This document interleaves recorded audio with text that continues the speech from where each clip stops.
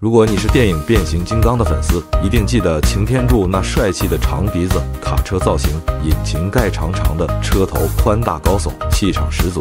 很多人初看美国卡车时都会感叹一句“真霸气”，而回头看看中国的卡车，东风、解放、重汽、成龙这些主力品牌，基本都是平头车，车头几乎是垂直的，看上去就像被削了一刀，整体更紧凑、更实用，但也少了点电影感。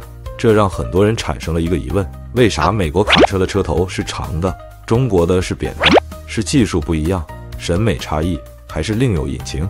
长头车也叫有鼻子的卡车，发动机布置在驾驶室前方，车头突出，看起来像个脸长的人。司机坐在发动机后面，一般是美国、澳洲、拉美国家常见的设计。平头车也叫无鼻子卡车或驾驶室前置车，发动机布置在驾驶室下方，司机坐在车头最前面。前脸垂直或接近垂直，整车长度更紧凑。亚洲、欧洲最常见。简而言之，前者人坐在发动机后，后者人坐在发动机上，两者各有优劣。世界上没有谁绝对比谁高级。选择哪种设计，完全取决于每个国家的地理、法规、文化和使用场景。美国是世界上公路最发达的国家之一，道路设计宽敞笔直，尤其是洲际高速公路，以长途直线加重卡承载为核心，几乎就是为大卡车量身打造的。在这种环境下，哪怕你车头长一点，也不会有什么限制。别说车头多一米，车长超过三十米的美式重载列车，在美国都合法上路。反观中国和欧洲，路况更复杂，城市密集，进出城频繁，走的不仅是高速，还有国道、省道、城市道路、仓库小路，空间紧张，转弯半径小，长头车反而成为负担。美国法律限制的是挂车长，不是整车长，这个点很关键。美国的交通法规对于卡车尺寸的限制，并不严格限制整车长度，而是强调挂车长度，也就是你装货那部分不能超长。所以车头的长度想怎么设计都可以，只要挂车别超标。像美国常见的五十三英尺挂车约十六米，只要挂车合规，车头可以自由发挥。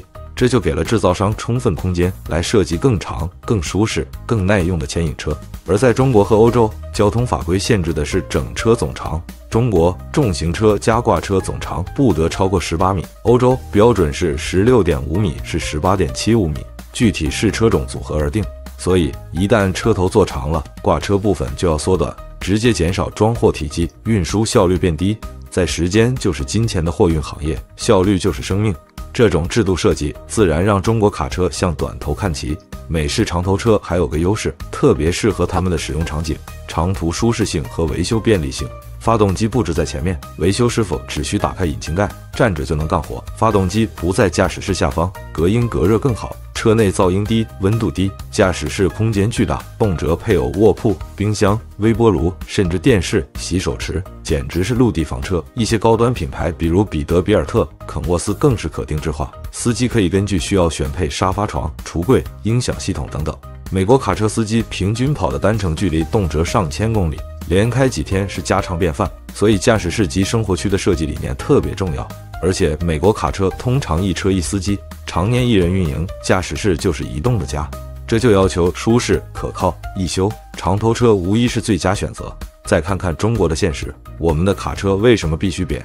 中国虽然国土面积大，但人口多，城市多，运输密集，很多卡车经常跑的不是无限直线高速，而是城市加乡村加山路加小巷组合路线。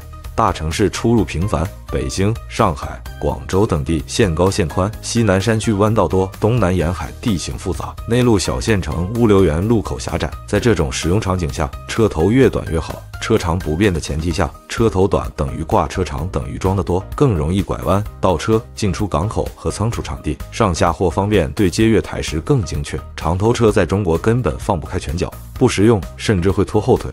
中国交通法规明确规定了总车长不得超过十八米，这一点在实际运营中至关重要。一辆车头如果是平头的牵引车，约三米，后面可以挂十五米挂车；如果是长头的牵引车，比如四米，挂车只能挂十四米。那你是不是每趟少拉了一吨半货？在高强度、快节奏、价格内卷的货运市场，少拉一点就是少赚一点，甚至可能导致亏本运营。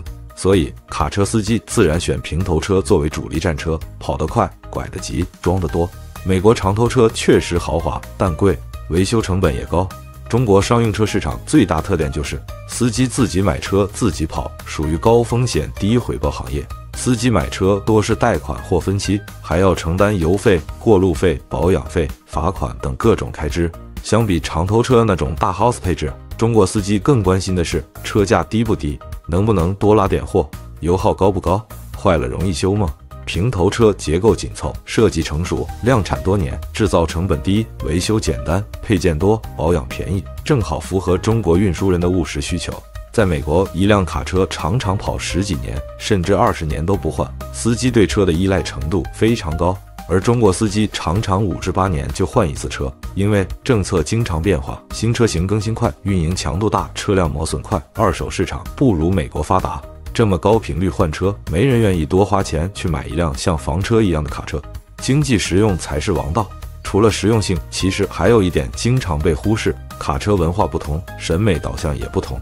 在美国，卡车是生活方式，很多人从小的梦想就是当卡车司机。卡车象征着自由、征服和独立，他们会把卡车当成第二个家，甚至宠物来对待。改装外观，加镀铬件、大灯、涂鸦、烟囱，改造车内，铺地毯、挂窗帘、加冰箱、微波炉。卡车聚会、文化节、展示大赛一应俱全。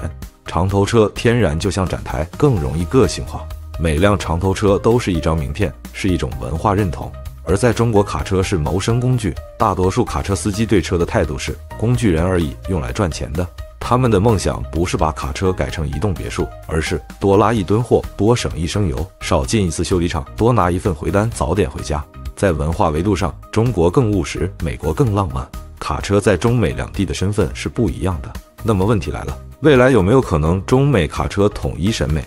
从趋势来看，并不太可能，但会有相互融合的现象。美国一些卡车厂商，例如 Freightliner，也推出紧凑型平头车，满足城市配送。中国一些高端品牌，比如解放 G7、欧曼银河，正在研发更舒适、更智能的驾驶室布局，往长头舒适性靠拢。自动驾驶、智能驾驶趋势下，未来卡车设计可能大改，甚至变成无驾驶室形态。也就是说，美国卡车会继续长，但更智能、更环保。中国卡车会保持平，但更舒适、更高效。美国卡车之所以长鼻子，是因为它有空间、有法律、有文化。卡车就是司机的家。中国卡车之所以削个平头，是因为它要多装、多转、多拐。卡车就是赚钱的工具，长与短没有高下之分，它们只是不同国情、不同道路、不同理念下的最优解。所以，别再羡慕擎天柱有个长鼻子了，中国的扁头哥们照样撑起了物流半边天。感谢收看本期视频，觉得有意思的点赞关注不迷路，下期再见。